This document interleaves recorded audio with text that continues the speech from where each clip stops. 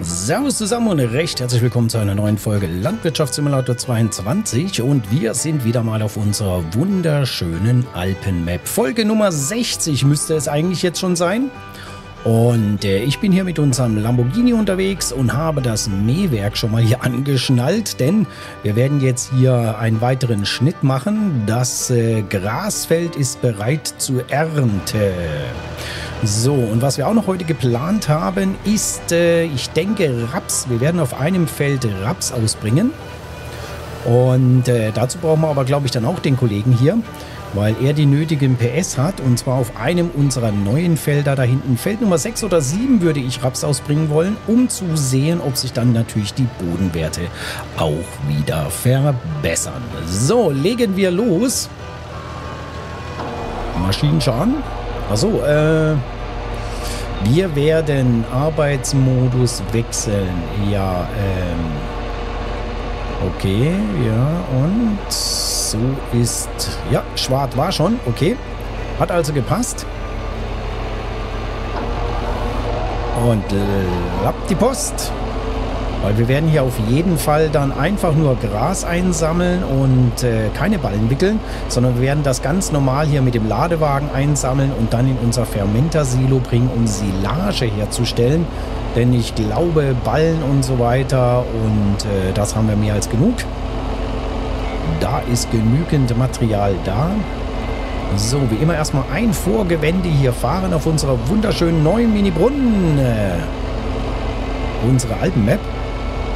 Und ich habe euch ja erzählt, dass der gute Yogi auch unterwegs ist, in den Alpen gewesen ist und deswegen auch ein neues Projekt aufgemacht hat. Auch er möchte eine Alpen-Map gestalten. Da bin ich mal gespannt. Da dürfen wir gespannt sein. Vor allem, ob wir dann auch Consolieros, wir dann diese Map spielen dürfen. Also ob es dann davon auch eine entsprechende Konsolenversion gibt. Aber da bin ich sehr, sehr zuversichtlich. So, okay.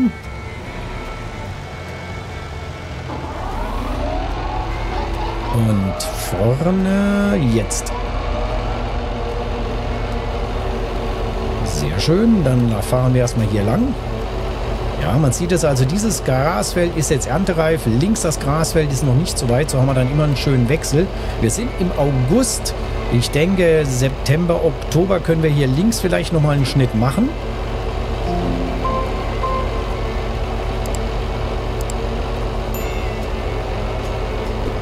Genau, genau, genau, weil wir müssen die Sache auch ein bisschen beobachten von den Finanzen her. Das äh, Schmetterlingsmähwerk da hinten, den Anbau, den habe ich ja nur gemietet. Ich würde mir gerne auch irgendwann mal so ein Teil dann fest kaufen, denn äh, Gras haben wir immer zu bearbeiten. Aber wir müssen ein kleines bisschen aufpassen, denn äh, auch wenn das jetzt gerade so verlockend ist von unseren Finanzen her, aber wir haben ja noch Mais stehen und haben meines Wissens noch kein ähm, Mais pflückt noch kein Gebiss für unseren Drescher. Und das müssen wir auf jeden Fall auch noch kaufen, denn ich möchte auch früher oder später Sonnenblumen ansehen. Gut, ihn schicken wir jetzt mal auf die Reise. Dann schauen wir mal, mit welchem werden wir... Lass mich noch mal ganz kurz gucken. Ich bin da also nicht äh, immer im Bilde von den Traktoren 201, der 174. Das ist der. Genau, dann nehmen wir doch den Kollegen. So, haben wir Gewicht dran? Ja. Und dann holen wir damit unser, ich denke, den kleinen Ladewagen erstmal. Weil mit dem großen werden wir jetzt auf dem Feld, glaube ich, nicht herumfahren. So, wie sieht's aus? Äh, braucht der noch Siliermittel oder ist der Tank noch voll? Ja, Tank ist gut gefüllt. Huch, so wollte ich eigentlich. Dann fahren wir mal gleich hier Gras einsammeln.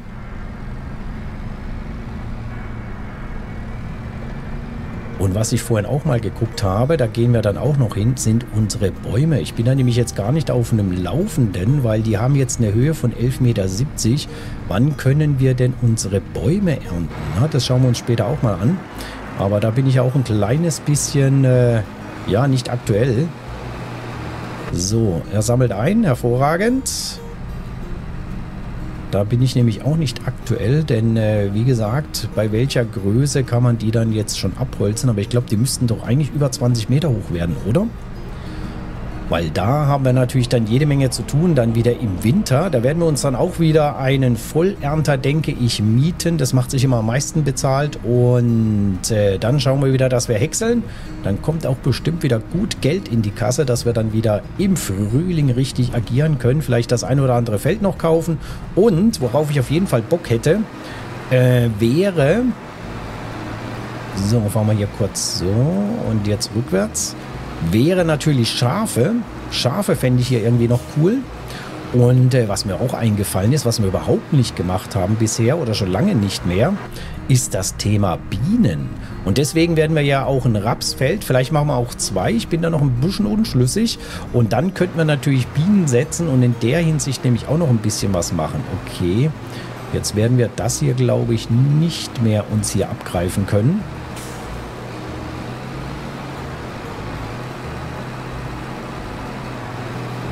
So, nochmal kurz zurückgesetzt. Kommt da was auf der Straße? Kein Straßenverkehr. Äh, jetzt muss ich mal überlegen, wie war denn das? Wo haben wir denn jetzt hier noch ein bisschen was? Okay.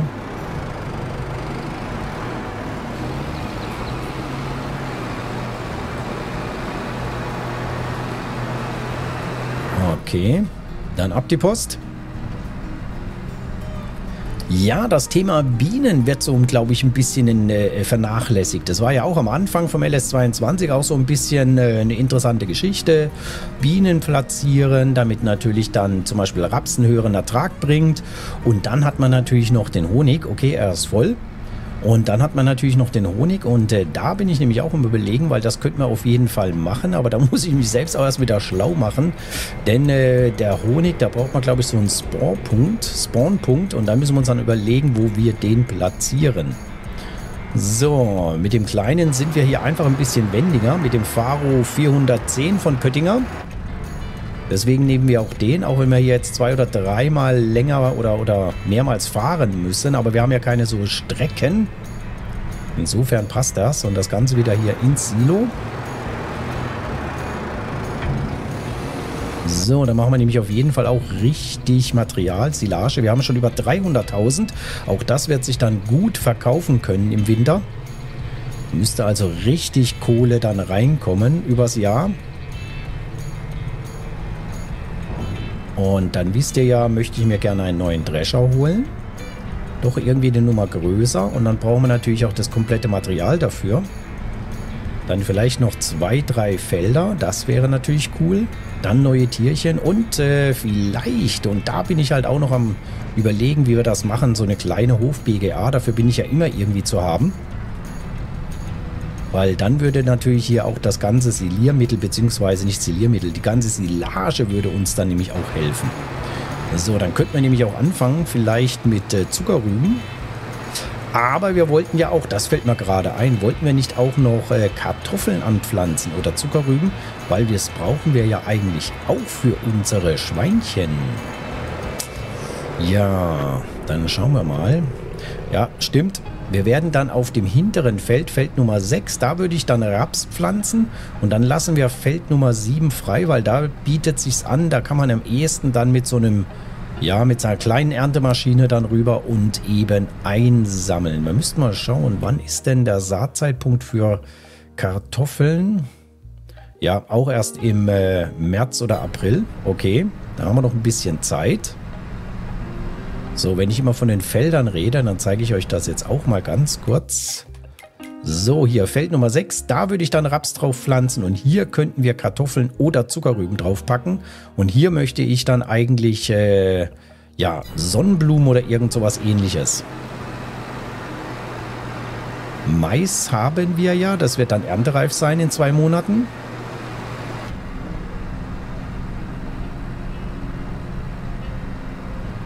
Und äh, Mais brauchen wir ja definitiv für unsere Schweine. Jetzt ist der auch schon wieder voll. 82 Prozent, okay. So, da rennen wieder die Rehchen. Und wie weit ist er? Eine Bar noch, oder? Dann können wir den nämlich umrüsten, um den Raps auszusehen.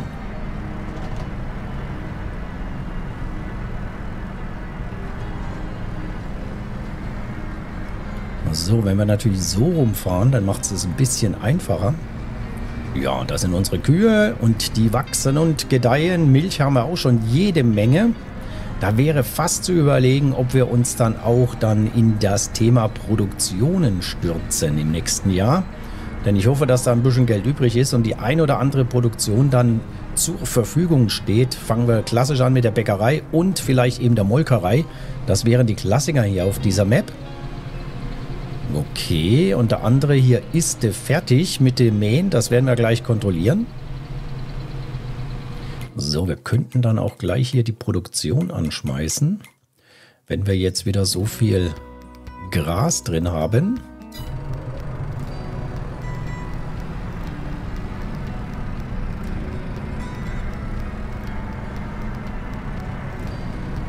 So, dann fahren wir den kurz zum Feld und dann schauen wir mal, wie weit der Lambo ist, beziehungsweise ob er wirklich fertig ist mit der Arbeit.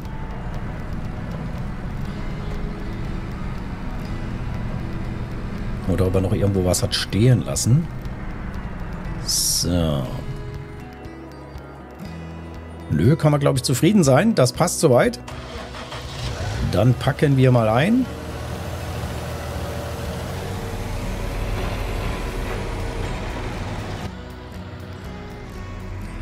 Dann packen wir ein, bringen das Material weg, hier die Gerätschaften und äh, dann schauen wir mal, wo unsere Saatmaschine ist.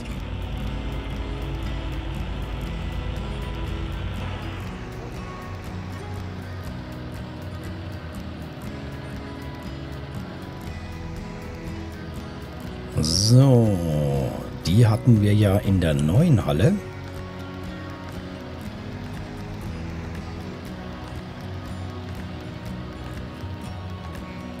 Ja, müsste man eigentlich auch putzen. So, wie kommt er rein? Muss man nämlich ein bisschen eng stellen.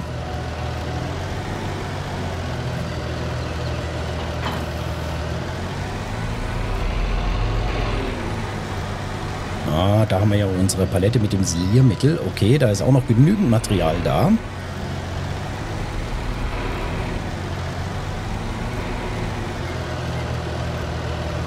So, das passt soweit.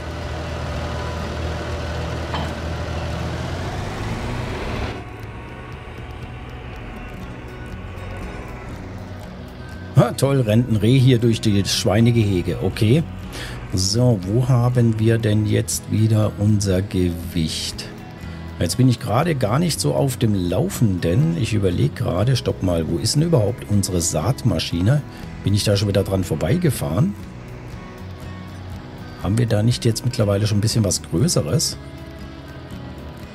Äh, ich glaube die John Deere da, oder? Das ist doch unsere Saatmaschine. Für Raps.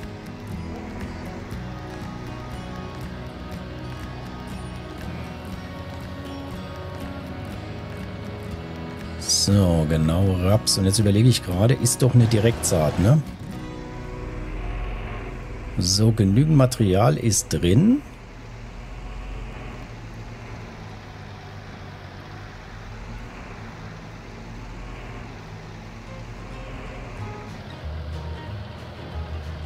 Und da haben wir das Gewicht.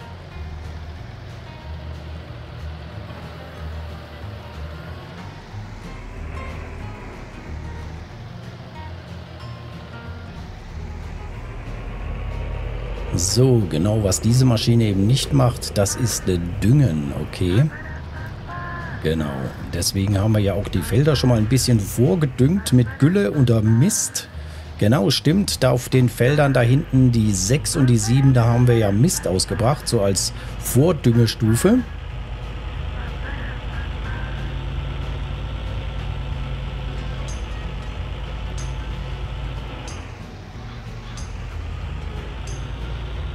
So, da rechts ist unser Maisfeld. Das dürfte in zwei Monaten soweit sein. Und dann hatten wir da hinten doch auch noch mal was angesät. So, das wäre das Feld hier für unsere Kartoffeln oder Zuckerrüben. Da müssen wir uns nochmal Gedanken machen, was geschickter ist, was günstiger kommt. So, was haben wir denn hier? Hier haben wir die Sojabohnen. Stimmt, Soja.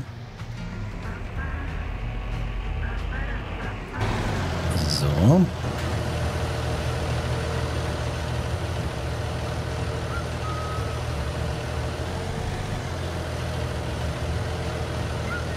Dann werden wir auch hier das erstmal das Vorgewende von Hand fahren. Äh, stopp. Stopp, stopp. Frontgewicht wieder hoch. Jetzt sind wir an der richtigen Maschine.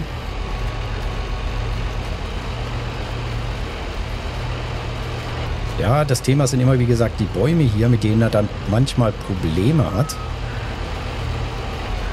Der Helfer.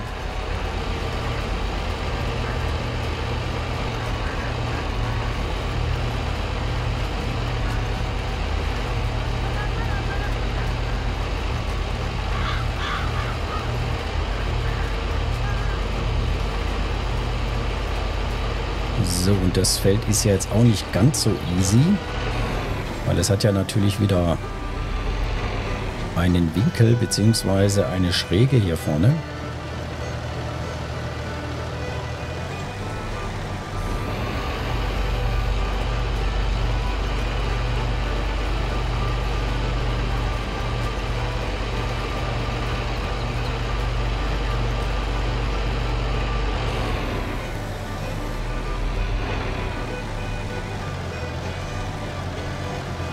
Was ich auf jeden Fall jetzt beobachten möchte, ist, äh, ob sich auch hier wieder die Bodenwerte ändern. Denn wir haben ja auch schon festgestellt, dass er beim Grubbern oder beim Ernten sich ja die Bodenwerte schon verändern. Da schauen wir dann mal gleich, weil hier dann können wir, glaube ich, den Helfer losschicken.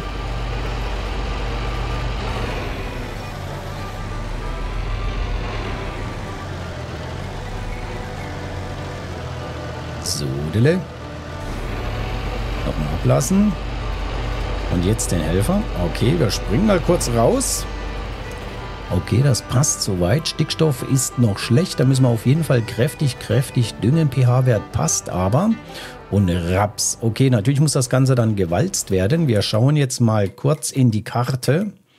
So, hier 73. Stickstoff ist eigentlich sehr weit vorne schon. Der pH-Wert, ganz klar und Unkrautbekämpfung. Der Balken müsste auch nach vorne gehen. So, die Umweltbewertung steigert den Verkaufspreis. Waren wir da nicht schon auf 10%? Irre ich mich da? Hm. Ich war der Meinung, wir wären da schon auf 10% gewesen. Okay, hat das eventuell damit zu tun, dass wir jetzt hier anbauen. So, das Feld, wie gesagt, da sollen wir, machen wir Kartoffeln oder ähnliches. Da haben wir Soja, da haben wir Mais, da könnten wir dann eben ähm, Sonnenblumen draufpacken. Ich muss mal schauen, oder wir machen das auf die 18. Ansonsten werden wir vermutlich auf die 11 nochmal Getreide draufpacken. So, und dann haben wir ja auf jeden Fall hier die Getreidemühle. Hm. Und jetzt schauen wir mal, da ist die Bäckerei. Und ich überlege die ganze Zeit, nee, wo ist denn die Molkerei? Mhm, Müslifabrik. Das ist die Zuckerfabrik. Wo ist denn die Molkerei? Pizzeria, Spinnerei, da auf keinen Fall. Wo ist denn die Moll? Hier, oder? Da ist die Molkerei, da ist die Getreidemühle und da war die Bäckerei. Okay, so, wo ich jetzt noch ganz schnell mit euch hin will, ist hierher. Also hier haben wir ja für unseren Winter die Forstwirtschaft vorbereitet und hier haben wir die Bäumchen hingepflanzt und äh, die Fichten haben jetzt eine Höhe von 11,60 Meter. Aber das hatten die schon im letzten Monat. Also ich weiß nicht, wie die hier wachsen. Aber ich glaube, das ist immer so ein bisschen sprunghaft. Ne? Also auf jeden Fall haben wir hier ja jede Menge Arbeit vor uns. Und dann können wir auch überlegen, ob wir vielleicht hier noch irgendwie was hinbauen. Und worauf ich ja auch Bock hätte dann für die Zukunft. Ah, falsch hier. In die Karte das ist ja hier oben dieses Gelände und da könnte ich mir echt vorstellen, dass wir da oben vielleicht dann nochmal einen schönen großen Kuhstall oder irgendetwas hinbauen. Das ist nämlich auch eine spannende Geschichte auf jeden Fall für die Zukunft. Okay, er macht hier seinen Job, soweit ich das sehe, ganz ordentlich. Ja, und hat noch genügend Material drin. Also lassen wir den jetzt erstmal hier ein bisschen arbeiten. Dann kümmern wir uns um ihn hier.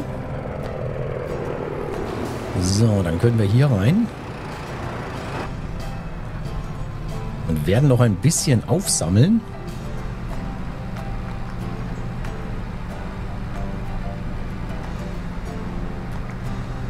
Ja. Da haben wir dann auf jeden Fall noch gut zu tun bis zum Ende des Jahres. Noch ein bisschen Aussehen, noch ein bisschen Feldarbeit, dann natürlich sich um unsere Tierchen kümmern und dann ein bisschen planen für die Zukunft, was wir hier alles auf dieser Map noch alles machen wollen. Auf jeden Fall ist das Ganze hier auf ein längeres Projekt ausgelegt, so wie auch die Galgenberg bei mir, wo es ja leider beim letzten Stream technische Probleme gab. Ihr habt mit der Capture-Karte, so wie es aussieht, das werde ich zukünftig ein bisschen besser im Auge behalten und überprüfen, bevor wir in den Stream gehen. Aber es würde mich freuen, wenn ihr wieder dann dabei seid am Dienstag bzw. Freitag. Die nächsten beiden Freitage, den 13. und den 20. jetzt nicht. Entschuldigung weil ich da die Freitage außer Haus bin, so möchte ich es mal formulieren. Aber ansonsten immer Dienstags und Freitags sind wir auf der Galgenberg, spielen die Version 2.0 auf der Konsole und zwar mit Food Plus, das heißt mit modifizierter Tierfütterung und das Ganze immer im Livestream für circa zwei Stunden ab 20 Uhr 30. So, der Kollege ist wieder voll, dann bringen wir ihn wieder zum Silo. Und wir werden hier das Feld jetzt äh, komplett noch das Gras einsammeln und hinten, wie gesagt, das Feld mit Raps einsehen. Und äh, das soll es dann auch schon wieder mal wieder gewesen sein hier von der neuen Mini-Brunn unserer wunderschönen Alpen-Map. Hier unser Projekt, die Alpen-Map. Ich hoffe, es hat euch wieder mal ein bisschen gefallen. War wieder interessant und kurzweilig für euch? Wenn ja, würde ich mich natürlich über Kommentare oder ein Däumchen freuen und natürlich wäre ein Abo auch Herz allerliebst. So, ich sage Dankeschön. Würde mich freuen, wenn ihr am Dienstag oder am Freitag zuschaltet zum Livestream hier bei mir auf dem Kanal. Ich sage Tschüss, ciao, cheerio, bis zum nächsten Mal, euer Badenfarmer.